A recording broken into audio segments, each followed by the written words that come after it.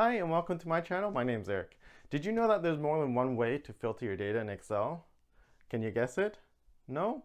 No worries. That's what this video is about. I'll be teaching you advanced filter. You can easily filter and copy your data as well within the worksheet. Let's go see how it works.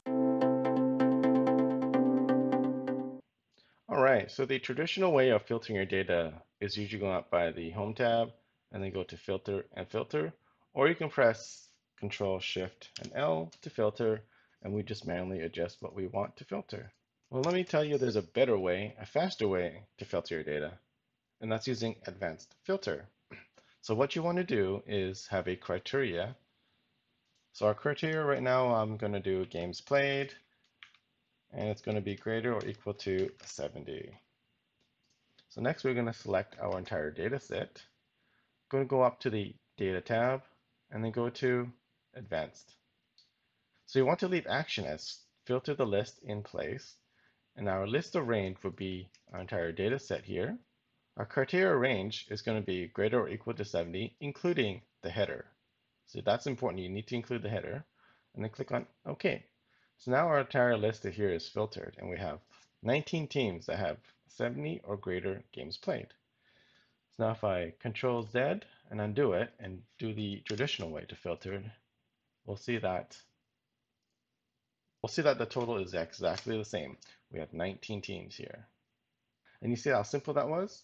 Now, if you want to add additional criteria, we can as well. So let's do let's do wins, and we'll have greater or equal to uh, 40 wins. So again, same thing, make sure our entire data set is selected. Go up to advanced filter. Under action, we'll leave filter the list in place.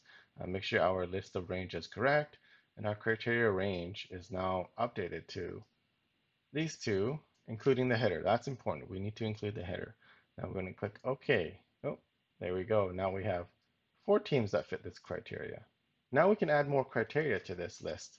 Let's say I want to have losses. I want, for this, I want less than or equal to uh, 19. So again, we'll select our entire data set, go to advanced, leave uh, the action as filter list in place, make sure list range is correct. And now our criteria is updated. We'll need to include these three columns, including the header again, and then click on OK. So now we only have two teams that fit this list. All right, now we're going to move on to the bonus. Yay, the bonus. All right, so let's say you don't want all these columns. You only want, let's say, the name, games played, wins, and loss.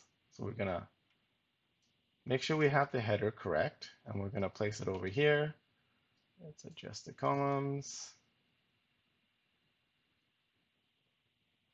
And then we're going to, again, select the entire data set, go to advanced.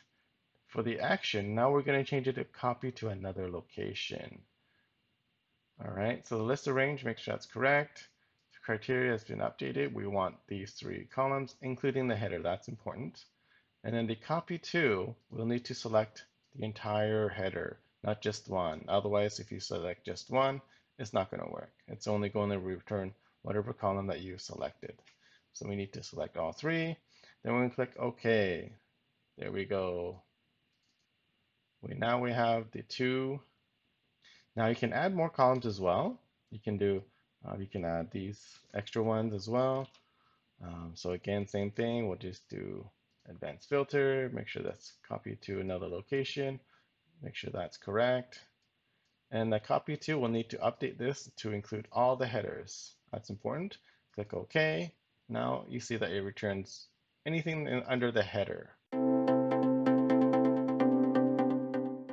Hey, thank you for watching. If you liked the video, don't forget to hit that like button and subscribe to my channel for more videos.